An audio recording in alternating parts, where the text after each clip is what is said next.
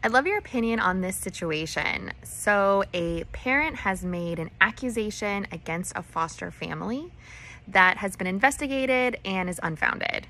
How does the foster parent move forward, reconcile, and kind of move beyond this moment? I'd love opinions from foster parents, former foster youth, parents, workers, anyone is welcome to chime in.